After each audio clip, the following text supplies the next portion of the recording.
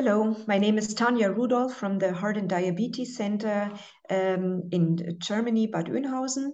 Uh, welcome to PCR London Valves um, 2022. I would like to speak about the unmet need in severe aortic regurgitation. And um, I would like to raise the question, are we ready for TAVI?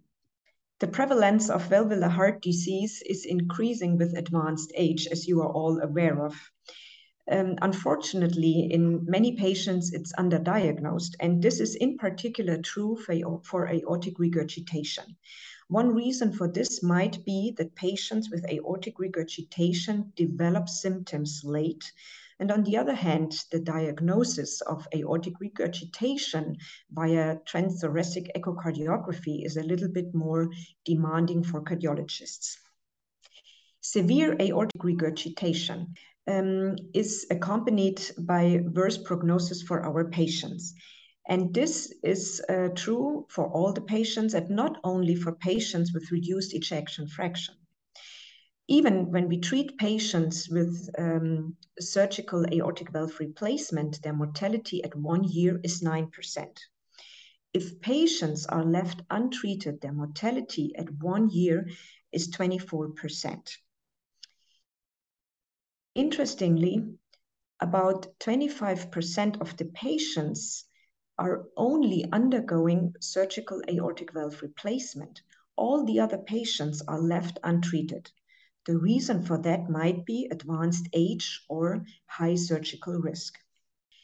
So the question was, are we ready for TAVR in aortic? So far, we had really clear limitations in treating patients with pure aortic regurgitation with the current TAVI devices. The reason for this is that in aortic regurgitations, we do not have calcification of the aortic valve.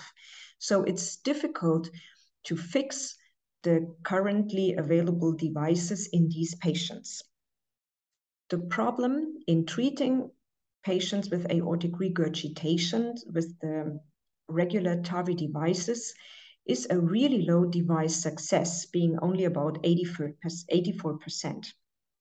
In a lot of cases, in almost 10%, a second valve is actually required. And very differently to treating patients with aortic stenosis with TAVR, 30-day mortality is rather high with 11%. And also many patients keep a relevant aortic regurgitations when treating them with regular TAVR devices. The JenaValve Trilogy TAVI system is the first device which got CE marked for aortic regurgitation. The Trilogy TAVI system features unique design due to locators that align the transcatheter heart valve with the native cusps, and this ensures First, an anatomically correct alignment. And second, these locators are able to clip onto the native leaflets, therefore enabling an anchoring of the transcatheter heart valve in pure aortic patients with non-calcified valves. We have already the data available of the first 58 patients with severe pure aortic regurgitation who were treated with the JenaValve Trilogy system. In these patients, the technical success was 100%. In hospital mortality was 0%. 90% of the patients had none or only trace paravalvular regurgitation at the end of the procedure.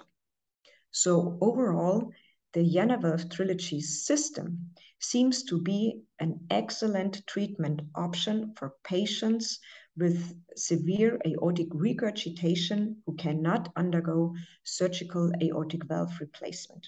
Thank you so much for your attention.